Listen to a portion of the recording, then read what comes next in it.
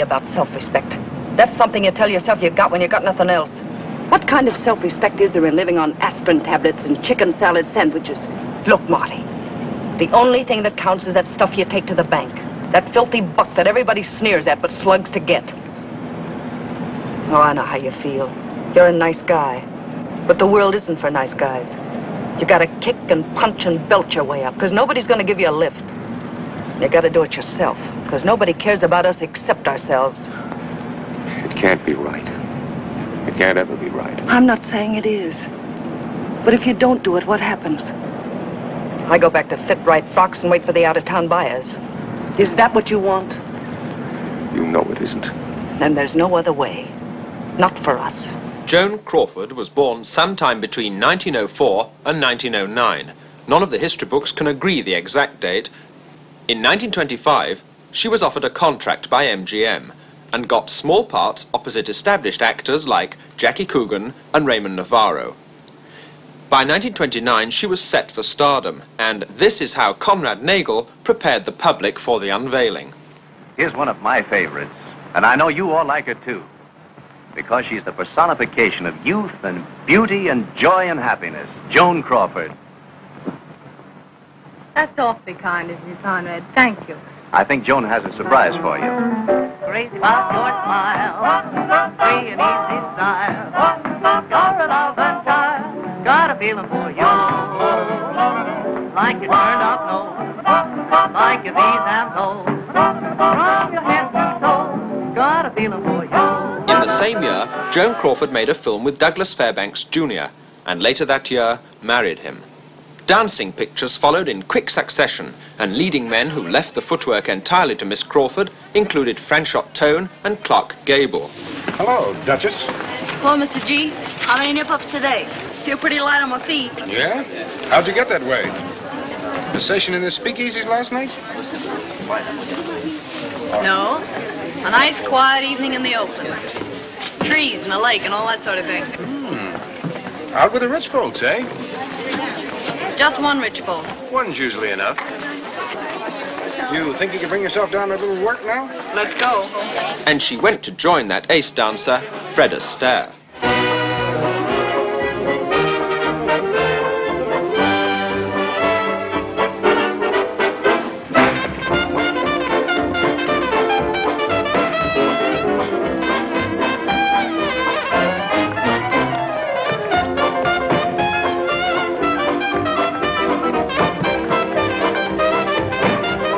Joan Crawford had arrived, Fairbanks Jr. had not stayed the course, and in 1935 she married again. This time Franchot Tone, in whom she was sure she had found the perfect mate. They sang together, recited Shakespeare together, and psychoanalyzed each other. And in 1939, they divorced each other. By now, Miss Crawford had worked with every leading star in Hollywood. Garbo, Barrymore, Gable, Cooper, and Robert Taylor. Have you ever been in love? What do you mean by in love? I mean in love. Are there different meanings to the word? Many as there are men and women in the world, I imagine. Could you be in love with me? Could I? Oh, I don't mean that. I, I mean, could you believe, that is if I told you, could you believe that I loved you and, and that I knew I loved you? Joan Crawford's third marriage was in 1942 to a little-known actor, Philip Terry. She said, The story of my life is a search for security. Precisely what Mr. Terry evidently did not provide, because they were divorced in 1946.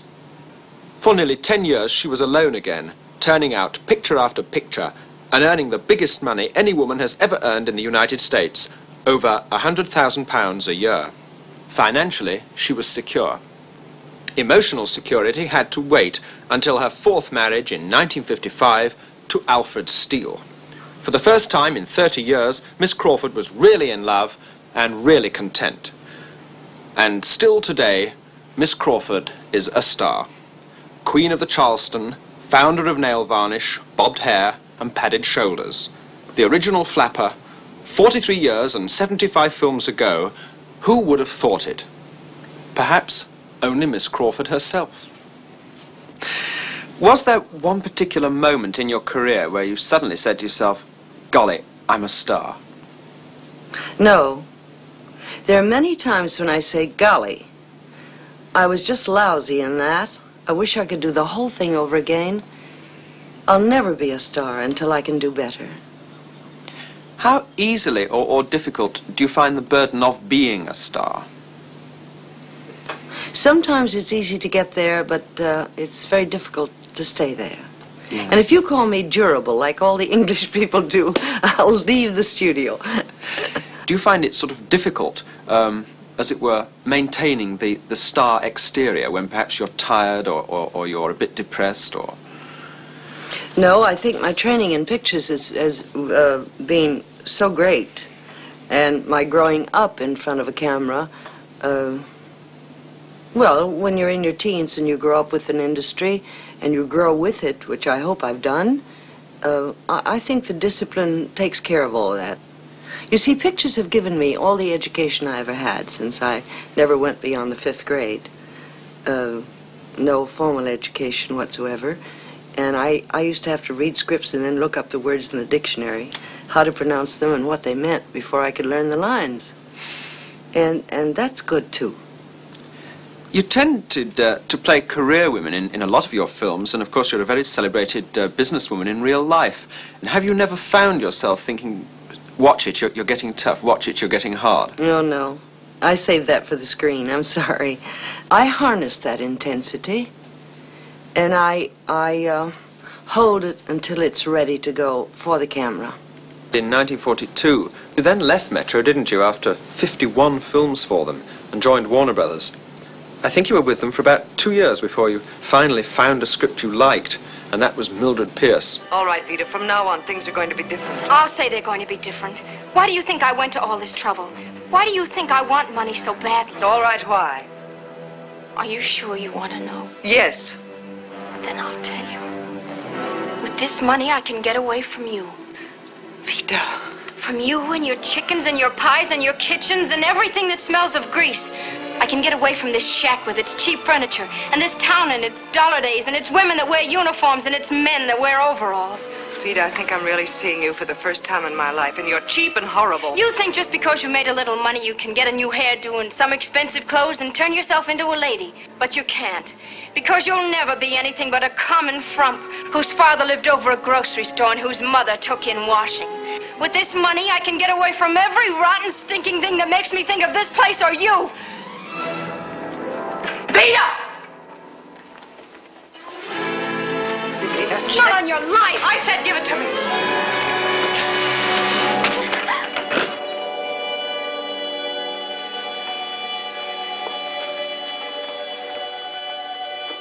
Get out, Veda. Get your things out of this house right now before I throw them into the street and you with them. Get out before I kill you. How difficult was it for you both to generate such hatred in that moment? Actually, when I had to slap her, and I waited and waited, the director didn't say cut because he saw me sobbing so much.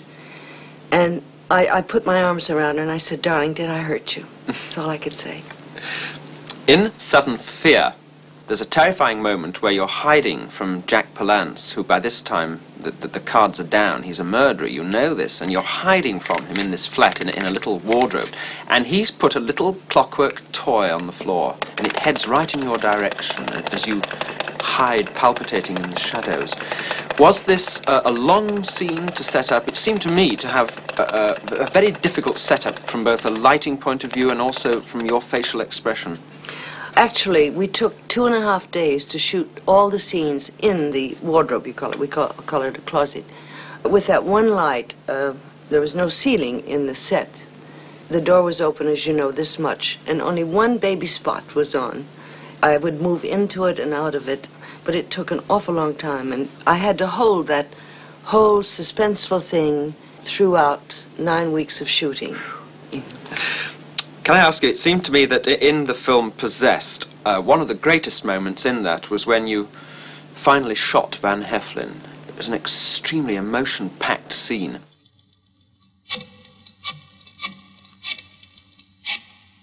Going away? Yes, Carol and I are getting married tonight. Oh, no, you're not. You're not going to marry her. You're not good enough for her. Uh, don't you think we should sit down quietly and think up a little better reason for you to shoot me than that? Talking won't do you any good. It's silly of you to kill me, Louise. Still a lot of pain and unhappiness in store for me. Now, you wouldn't want me to miss all that now, would you? Now, look, why don't you just give me that before I get hurt, huh? I told you. I explained it to you, how important it was for you not to leave me again. All right. Well, go ahead and shoot. Mathematically, the chances of your hitting me are slight. And as far as killing me, well, I don't think you're that good a shot.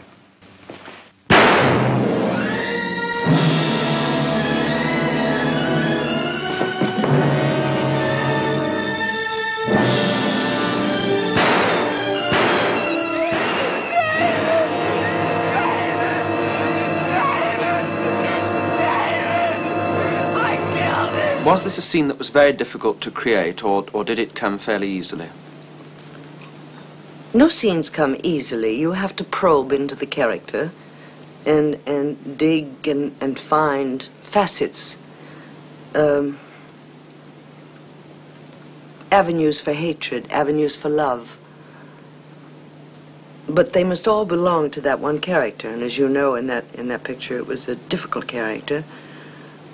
And I hated to shoot him because I really like him so much as a person.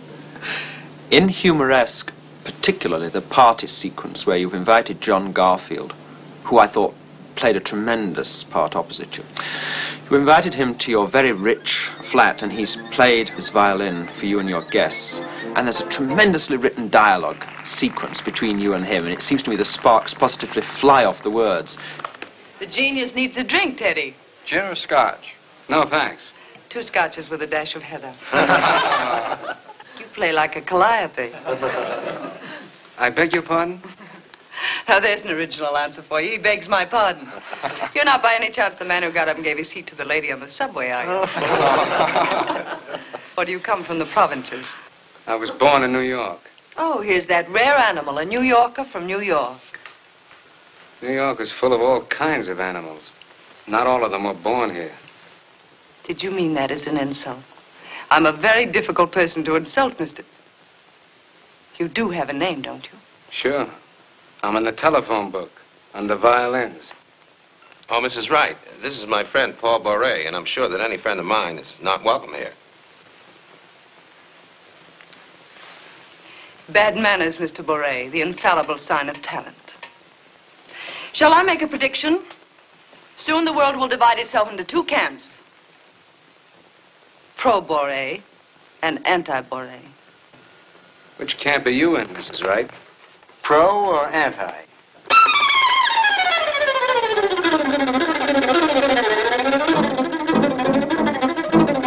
Did you enjoy that script?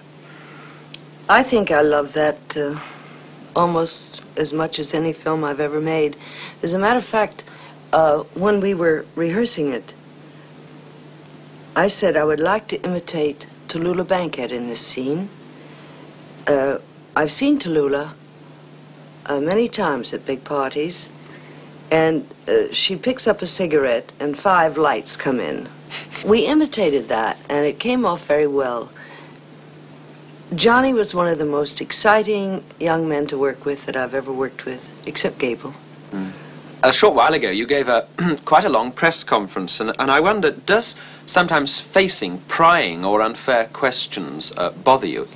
It's become now uh, rather comic because um, everyone in England says, How old are you and how much money do you have? And how many times have you been married? So I expect it and I'm ready for it. I know a lot of people think very few things were before my time. I'm sure you must get very bored by the, the constant fiction that you and Bette Davis are positively daggers She'd drawn. kill you if she heard you say Bet. She's a fascinating actress, Betty Davis. Um, I've never had time to be friends with her because we only did the one picture. You are disgusting. After all I've done for you, you spy on me. When all I'm trying to do is help. Oh, you're trying to help, Blanche. What are you planning to do with me when you've sold the house? What you have in mind? Some nice little place where they could look after me?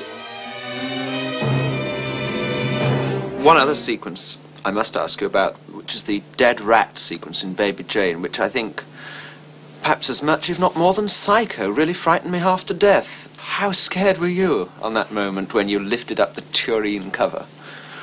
More frightened than you, really, because I refused to work with anything but an empty plate. And uh, when I knew the cameras were ready, then I said, you may bring it on. And something went wrong, technically, with the camera. And I said, don't take the lid off. Leave it. Just take it away. And I still kept the emotion ready for it. And when the technical things were fixed on the camera and the lights, then we went in, and I was still ready, and away we went. Take one. You know we got rats in the cellar?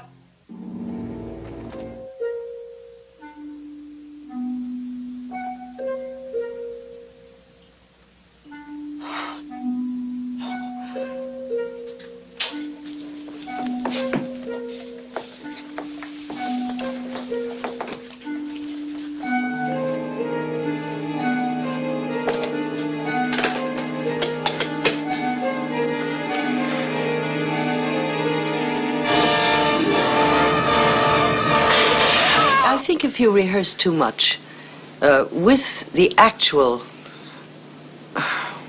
rodent, I so almost said animal, it looks so big, but it is a rodent, I believe, the rat. Yes.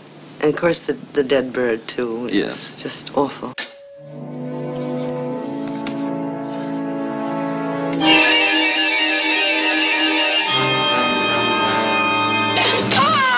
Wonderful to do those scenes. You, you want to bring the audience in with you, so close to you. You want to put them in your lap, in the palm of your hand.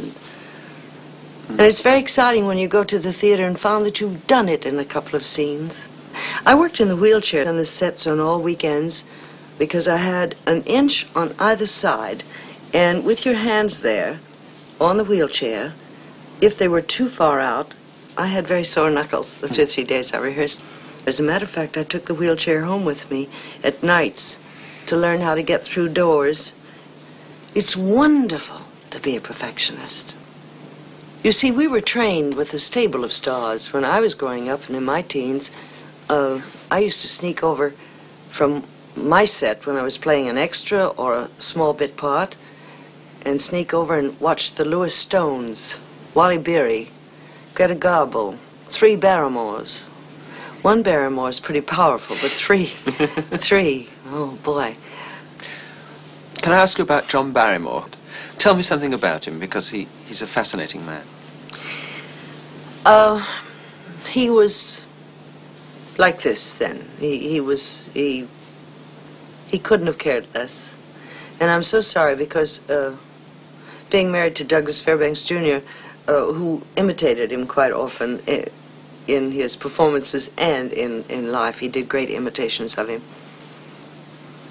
I had heard so much about him that, that uh, and, and when I met him, I, I was, as you say, in awe of him. And I wanted so to be friends with him. Uh, but he was rather cross most of the time in those days, and and uh, you know, you know, making with the faces and everything. So I offered him a Kleenex one day because his nose was always running, and and he said thank you and dropped it like that. And I thought he was very unkind, but what a talent! He was just wonderful. I've heard it said, uh, one actress told me that uh, people didn't like playing uh, love scenes with him too close for too long because he hated taking a bath. Is this true, or is this just one of those weird stories that gets passed down? That, that he was remarkably lazy about his appearance and about his sort of shaving and washing and all sorts of things, that he could arrive on the set looking an absolute wreck. Well, I wore cologne and I smelt me only, so I don't know. Can I ask you also, um, in uh, Grand Hotel, particularly the scene that you play with him on the balcony overlooking this amazing sort of basin, this hotel which is built around the hollow. The scene there where you play the stenographer, this young girl who's been invited to this very uh, classy hotel, and Barrymore is chatting you up, giving you the, the full Barrymore bit. Oh, you're a little stenographer. Yes, I'm a little stenographer. That's fascinating. I don't suppose you'd uh, take some dictation from me sometime, would you? Well, uh, how about some tea then? Tea would spoil my dinner. Only have one meal a day, and I'd rather hate to spoil it. Oh, are you reducing? Reducing? Hmm. Me? Do I need to? Oh, oh no. It's perfect. No, I don't think I've ever... But, uh, why one meal a day? Money. Ever heard of it? Yes, I have vaguely. But I always thought little stenographers made little pennies. Very little. Oh, that's too bad. Did you ever see a stenographer with a decent frock on? I have indeed. One she'd bought herself? Oh, I see what you mean. Poor kid. Oh, I wish I were free tonight. Aren't you? What? Free. No, darn it, I'm not. But there's tomorrow.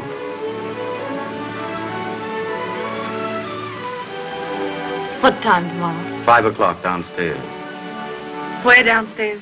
In the funny yellow room where they dance. You're funny. Tomorrow? Of course. Really? We'll, uh, dance. All right. We'll dance. Did you feel you were being exploited by him, or rather by the director? He almost steals the scene, but not quite, in, in a curious sort of way. Uh, I get the impression, for instance, that he's, he's doing his best to upstage you slightly in the scene. Oh, always. Was but he? I had a low neck dress on. I fixed him. Uh, No, he, he was famous for upstaging in the theater and in pictures. I must say he was fascinating, though. you constantly say how overawed you were when you met stars like Barrymore and Garbo. Have you ever met her? No. Oh, you'd be breathless. really? Oh, you couldn't stand it. She's so beautiful. Yes. She's so wonderful. And that's what was so great during the Metro days, because they had a mystery about everyone. There were no girls next door, you know, with the shiny faces. Everybody knows too much about stars nowadays. There's no more glamour. There should be a protectivity. We protect our families. We don't go out on, on the street or on radio or television and say, one of my daughters is this, one of my daughters is that, and what a problem I'm having. Who cares? We know we all have problems. But who cares except us? And why put it in somebody else's lap? I felt this very much myself. I couldn't agree more with what you say.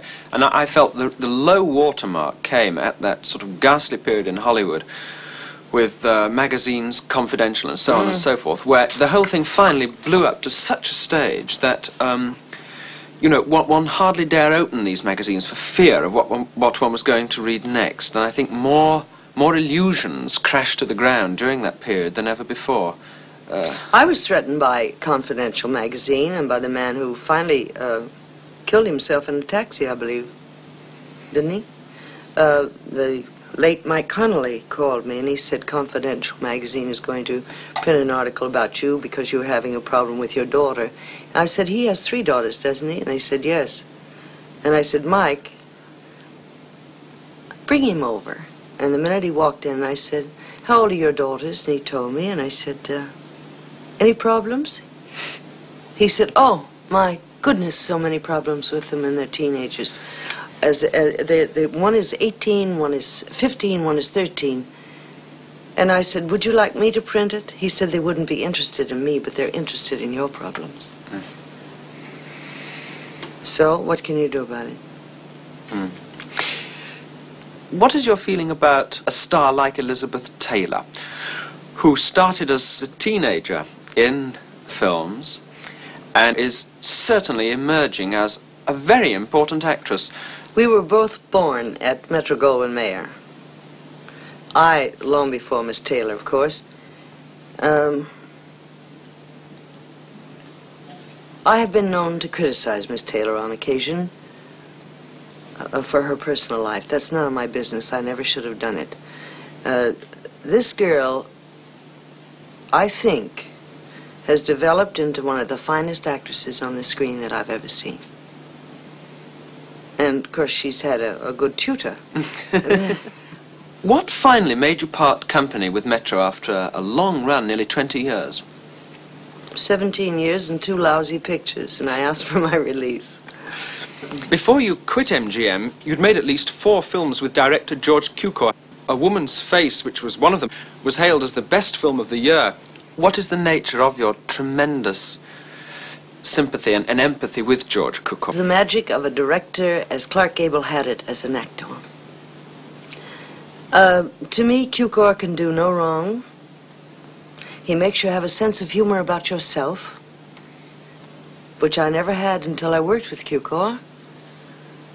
Um, he'll say, and what the hell are you trying to do? You made a mistake and you're not allowed to make one. And you say, so I goofed, I'm sorry.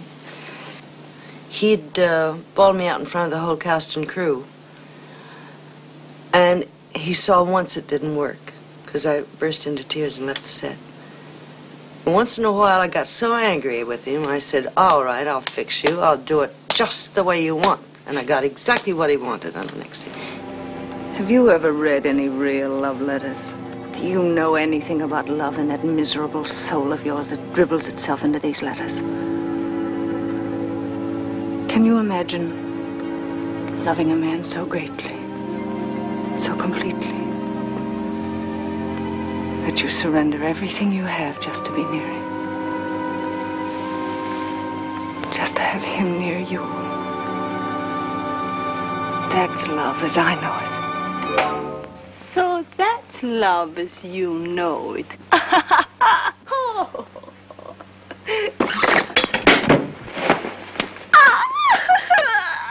I enjoyed the 30s film so very much that it seemed to me that although filmmaking might have been conveyor belted, although uh, there's some truth in the charge that um, artists were manufactured and, You you manufacture toys, you don't manufacture stars. Mm. You can't turn them out. There, there were, uh, nowadays you see them, they're all out of the same cookie cutter, you know. I still think we should go back to romantic pictures. Mm. The world is so angry. I'm no Cinderella, but by golly, the world is so angry that if we could get romantic pictures back again and no angry young men and have the young men have their hair cut and the young ladies let it grow, I think we'd get back to nice human relationship again throughout the world. It seems to me now that films are made at almost a, a sort of committee level. There are so many vested interests. There's, there's such a lot of money to be made or lost, and there are so many people who want to have their little bit, who want to have their little say. It seems to me that this is a, a sort of diluting process. So much money to be made or lost, Mm. you just said. So much talent to be made or lost too.